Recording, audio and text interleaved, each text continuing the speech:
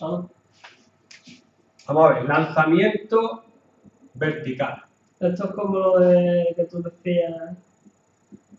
Esto es que tú tiras un chilletazo para arriba a ver dónde llega, ¿vale? Entonces tú tienes la altura inicial es el suelo. La aceleración de la gravedad es menos 10, vamos a poner menos 10. Y lo que tiene es una velocidad inicial, ¿vale? ¿Cuál es la condición? Te suelen pedir hasta dónde llega. La condición cuando está arriba del todo es que la velocidad es cero. ¿Vale? Entonces lanzo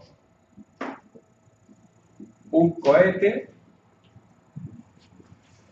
con una velocidad inicial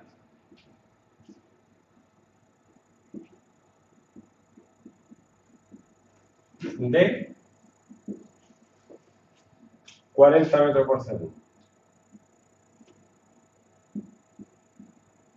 Calcula a la altura máxima y el tiempo que tarda en alcanzarla. Y luego tú me vas a calcular desde esa altura cuánto tiempo tarda en caer. Para que te des cuenta de lo que tarda en subir y tarda en caer. ¿Vale?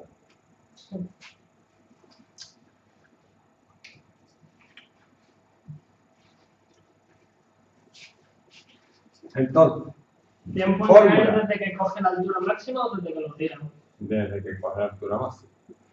Velocidad final, 6, cuando está todo, igual a velocidad inicial, 40 menos 10. Está clarísimo que tarda 10, eh, 10 4 segundos en subir hasta arriba.